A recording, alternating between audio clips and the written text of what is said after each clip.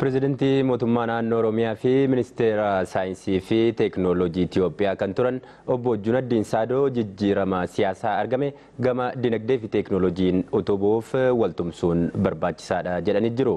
Obbo Junaddiin biyya ambaa turanii wayita biyyatti deebi'an buufata xiyyaaraa idil addunyaa booleetti simatamanii jiru. Guutuu gabaasichaaf namoomsa admaasuu.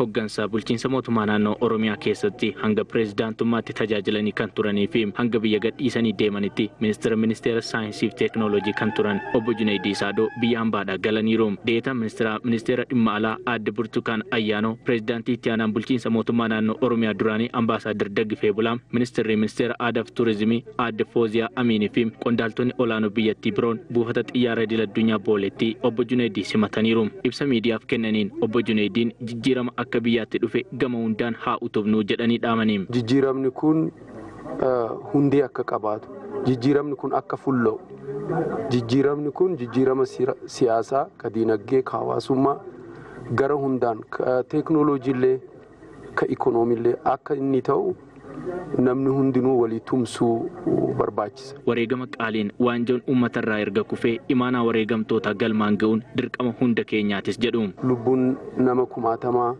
itti manca'ee dhufe kana bakkaan ga'uun nurra jiraata. Eenyuyyuu caalaa mootummaan jijjiirama kanarratti cichutu sarra jiraata. Obbo Junaydii Saadoo dhaabbata Dimokiraatawaa Uummata Oromoo keessatti sadarkaa gaggeessummaa garaagaraa keessa kan turan yoo ta'u erga biyyaa ba'anii garuu hidhata dhaabicha waliin qaban addaan kutanii kan turanidha. Dhaadiyoon sadarkaa amma irra jiru itti dhiyaadhee baruun fedhas jedhaniim. Dhaabbanni Dimokiraasummaa Uummata Oromoo maalirraa akka inni jiru yeroo ammaa kana ilaalarraa qofan beeka. Itti dhiyaadhee laaluun barbaada. Marii barbaada.